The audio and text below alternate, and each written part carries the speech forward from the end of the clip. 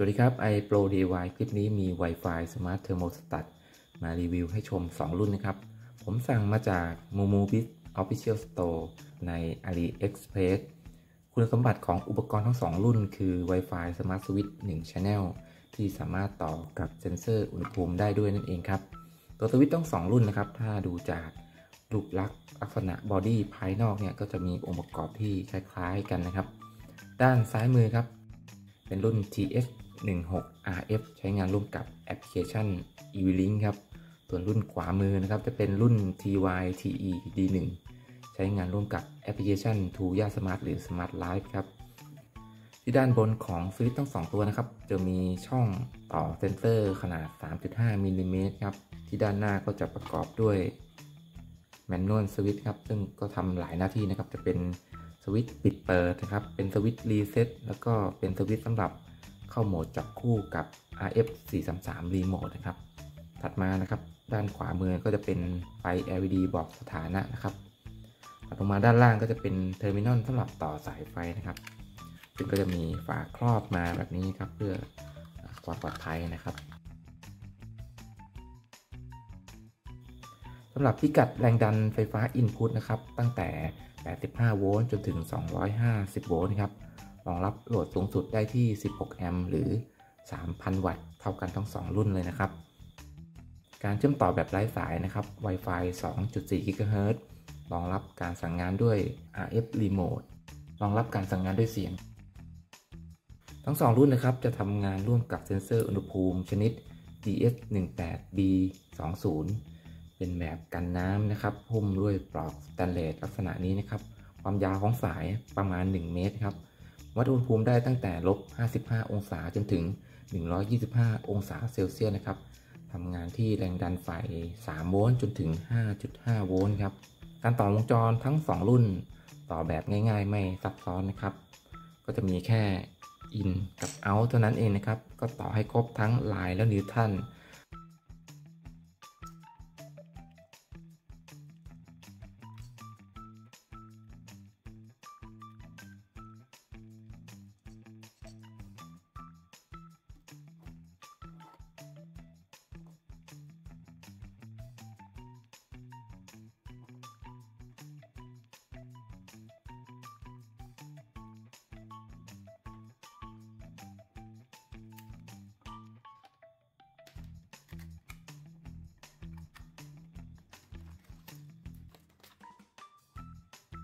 การเชื่อมต่อกับแอปพลิเคชัน เริ่มจากรุ่นที่ใช้กับแอปพลิเคชัน e-link นะครับ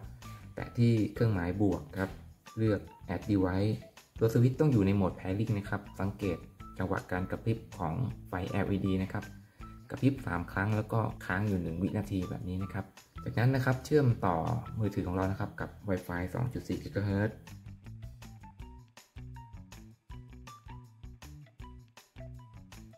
แตะนี้ครับ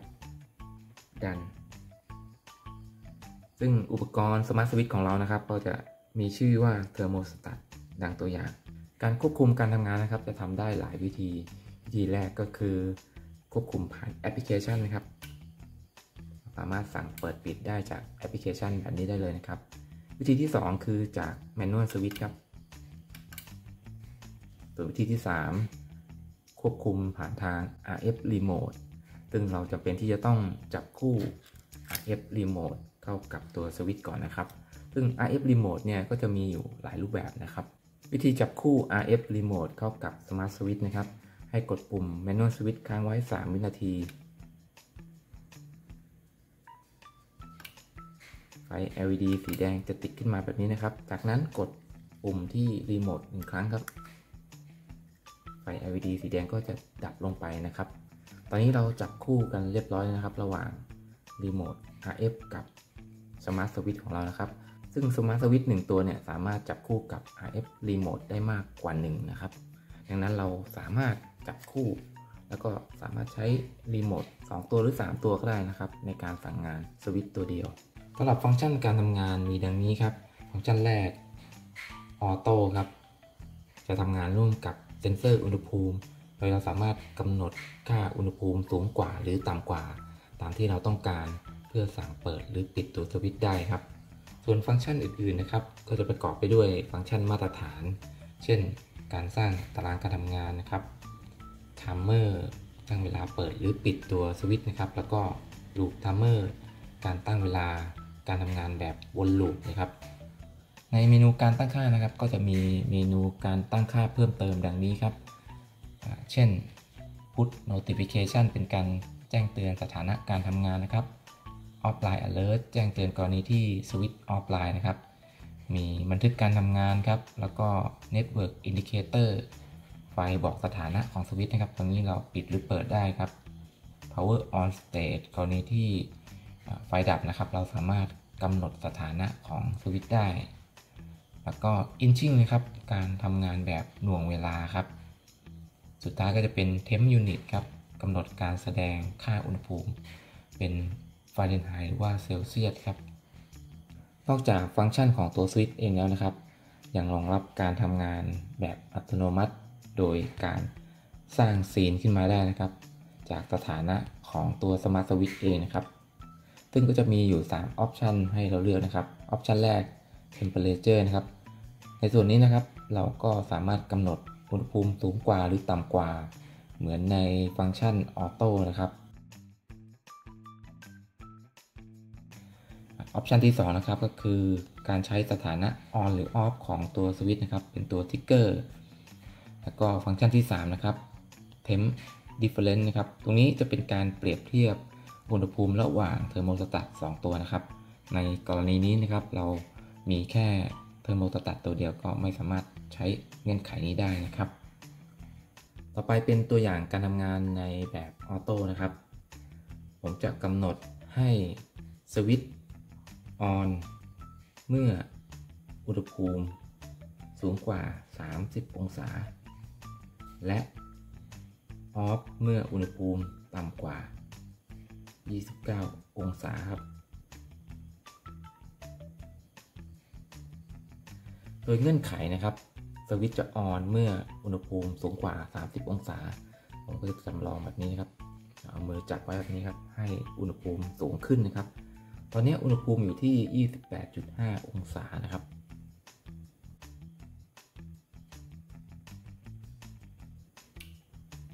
ตอนนี้อุณหภูมิขึ้นไปที่ 32.4 องศานะครับ ตัวสวิตช์ถูกออนขึ้นมาตามเงื่อนไขนะครับ และตามเงื่อนไขที่ 2 นะครับ เมื่ออุณหภูมิต่ำกว่า 29 องศา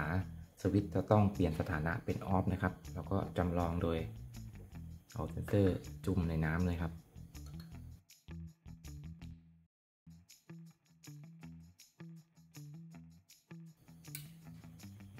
เรียบร้อยนะครับ ก็ทำงานตามเงื่อนไขครับ สูงกว่า 30 องศาตามที่เรากำหนดสวิตช์ออนครับ ต่ำกว่า 29 องศาตามที่เรากำหนดสวิตช์ออฟมาดูฟังก์ชันในรุ่นถูยากันบ้างครับ เริ่มจากการจับคู่กับแอป Smart Light ครับ เมื่อจ่ายไฟให้กับตัวสวิตช์นะครับ สวิตช์จะเข้าโหมด Pairing โดยอัตโนมัติ ก็จะมีไฟสีแดงกระพริบแบบนี้นะครับ ที่แอปพลิเคชันนะครับจะตรวจพบสมาร์ทสวิตช์โดยอัตโนมัตินะครับ ซึ่งจะตรวจพบผ่านทางสัญญาณบลูทูธนะครับ จากนั้นก็แตะแอดครับตั้งค่าการเชื่อมต่อกับเครือข่าย Wi-Fi 2.4 GHz จากนั้นทำตามขั้นตอนที่โปรแกรมแนะนำครับ แตะดันสำหรับการควบคุมการทำงานนะครับ ก็ทำได้หลายวิธีเช่นกันครับวิธีแรกก็คือสามารถสั่งเปิดปิดผ่านทางแอปพลิเคชันได้เลยครับ วิธีที่ 2 Manual Switch แบบนี้ครับ และวิธีที่ 3 ผ่านทาง RF Remote เช่นกันกับรุ่น E-Link นะครับ ซึ่งเราก็จำเป็นจะต้องจับคู่ Remote RF เข้ากับ Smart Switch ก่อนเช่นกันนะครับ วิธีการจับคู่ RF Remote เข้ากับ Smart Switch ก็ทำวิธีเดียวกันนะครับ โดยกด Manual Switch ค้างไว้ 3 วินาทีครับ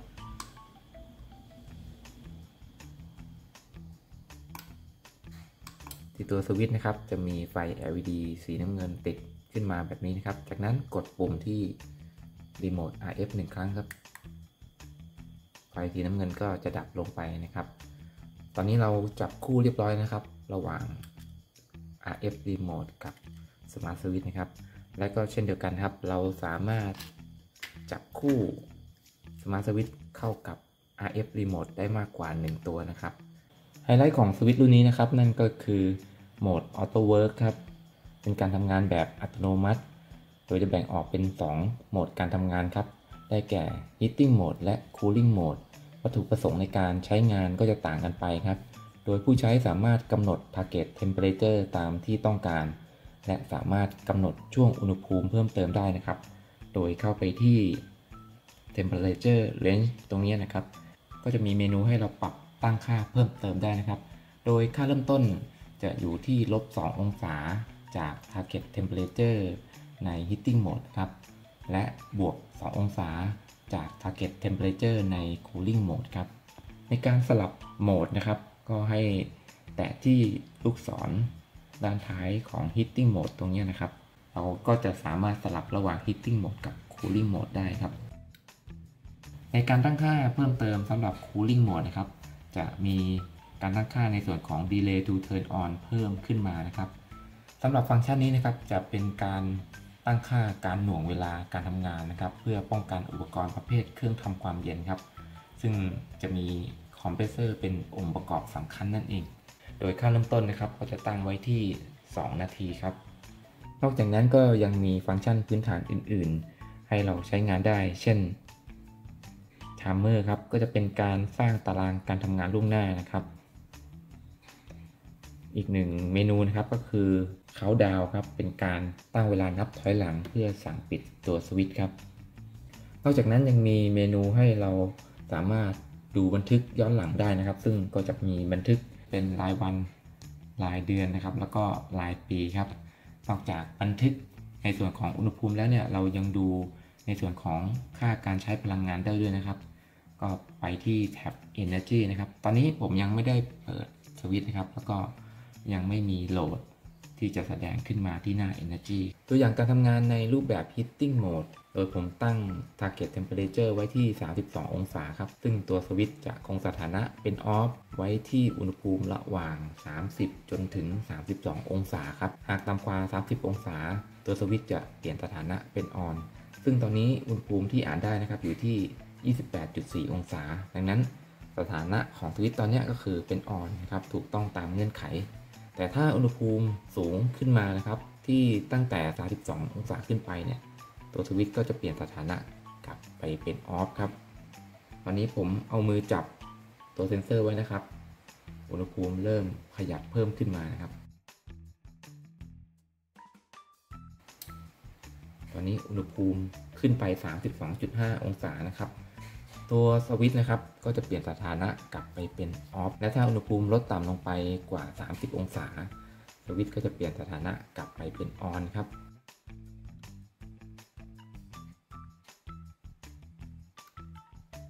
ตัวอย่างการทำงานในแบบ cooling mode โดยผมตั้ง target temperature ไว้ที่ 30 องศา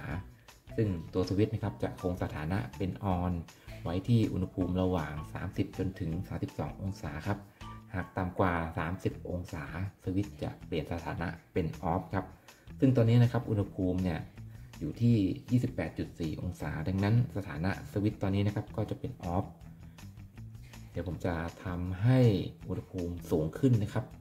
เพื่อจะเปลี่ยนสถานะสวิตช์ให้เป็น on ครับ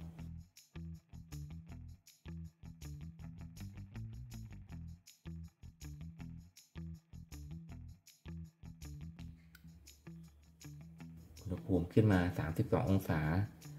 สวิตช์ก็จะเปลี่ยนสถานะเป็น on นนะครับ เมื่อกลับลงไปต่ำกว่า 30 องศา สวิตช์ก็จะเปลี่ยนสถานะกลับไปเป็น off เหมือนเดิมครับ ซึ่งการทำงานของ cooling mode ก็จะตรงข้ามกับ heating mode นั่นเองครับและที่คุณผู้ชมเห็นอยู่ตอนนี้นะครับ เป็นการเปรียบเทียบอุณหภูมิที่ smart thermostat ทั้งสองรุ่นอ่านได้นะครับ ทั้งของรุ่นทูย่าและ e v l i n k นะครับ จะได้อุณหภูมิที่ใกล้เคียงกันมากๆนะครับ ของทูย่าเนี่ยอ่านได้ 28.1 องศา แล้วก็ของ e v l i n k นะครับ 28.2 องศา ต่างกันแค่ 0.1 เท่านั้นเองครับ และเมื่อนำไปเปรียบเทียบกับเซนเซอร์อุณหภูมิตัวอื่นนะครับ ซึ่งผมจะเปรียบเทียบกับโซนอฟนะครับ SNCB 02P ซึ่งก็จะอยู่ในบริเวณเดียวกันเนี่ยนะครับ วางอยู่ใกล้ ๆ กัน อุณหภูมิที่อ่านได้ก็จะอยู่ที่ 28.2 องศาเท่ากันเลยนะครับ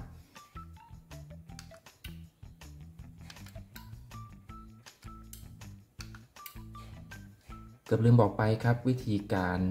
ยกเลิกการจับคู่ RF Remote กับ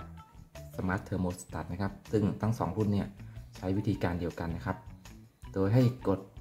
Manual Switch นะครับ ค้างไว้ 15 วินาที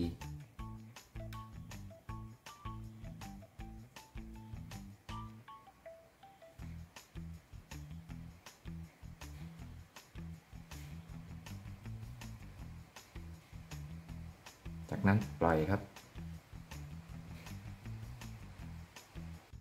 ไฟแพริ่งแบบนี้จะกระพริบอยู่แบบนี้นะครับ ถ้าเราต้องการให้ออกจากโหมดเรากดสวิตช์ซ้ำไปครับ แบบนี้ครับ ตอนนี้ครับรีโมทถูกยกเลิกเรียบร้อยนะครับ เวลาเรากดสั่งเนี่ยก็จะไม่มีผลแล้วนะครับ ถ้าเราต้องการจะจับคู่ก็ทำเหมือนเดิมครับ จากการทดสอบจะเห็นว่าทั้ง 2 รุ่นมีความแตกต่างกันอยู่พอสมควร ในส่วนของฟังก์ชันการใช้งาน ในรุ่นทูย่าดูน่าจะมีความคุ้มค่าน่าใช้กว่านะครับ ลิงก์สินค้าผมแนบไว้ใต้คำบรรยายวิดีโอนะครับ ใครสนใจคลิกไปดูรายละเอียดเพิ่มเติมได้ครับ ฝากกดไลค์ กดแชร์ กดติดตามเพื่อเป็นกำลังใจให้ iPro DIY ด้วยนะครับ แล้วพบกันใหม่คลิปหน้า สวัสดีครับ